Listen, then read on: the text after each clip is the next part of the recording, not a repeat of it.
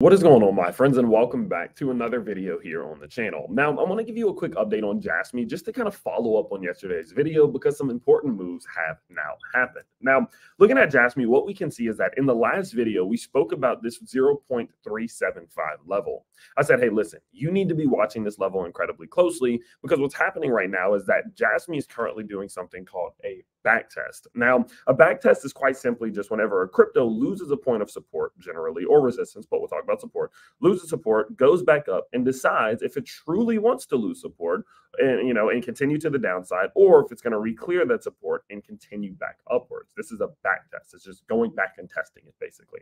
And I told you, if Jasmy fails this back test, we could see its price now start to reach towards the bottom side, which could be three cents, right? We could see Jasmy's price start to look to continue downwards, what easily could be another 10 to 20% towards the downside. Now, what we noticed is that in the last 24 hours, Jasmy did indeed fail that back test. We saw Jasmy's price come back up, retry it. It actually cleared it for a second, but this is a range, right? Like this isn't just going to be an individual line. This is just a range of liquidity in general. And you can see here that right here, if we just go ahead and move this up a little bit, that was the level that Jasmy ran into. This is the Jasmy where this is the level that Jasmy failed to re-clear, establishing this back test as a failure. Now, you can't count it out just yet because it does seem as if there's a possible little structure forming here, right? We could have a cup and handle pattern forming. We could be in the early stages of, uh, you know, other reversal patterns. And so because of that, I'm not going to immediately say that Jasmy is now heading towards three cents, but the likelihood is much higher. And when I say much higher, I mean way higher. Like if on the back test we had like a 50% chance, we're probably down to like a 25% chance.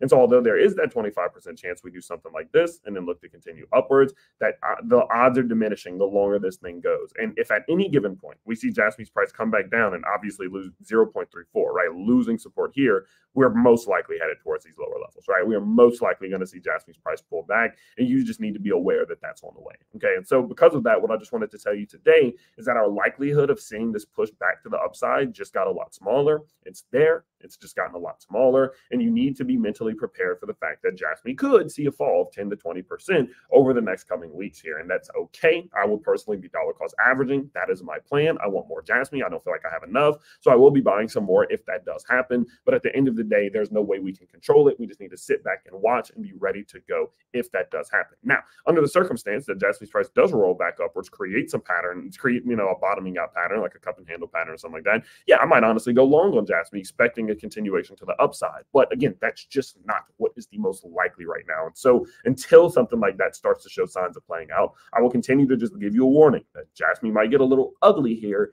and it is okay. It's not a big deal. It's a normal cool down, a normal pullback, and it's not something I am worried about whatsoever. So, of course, you guys know that I like to update you guys as often as I possibly can about Bitcoin, Jasmy, Solana, Render, meme coins, much more. If you do enjoy that content, you can always let me know by liking this video so more people see it and subscribing to the channel if you are new here. But I will see you all very soon. I have a couple more videos dropping today, so stay tuned for those. And I can't wait to see you all in the next one. Peace out, everybody.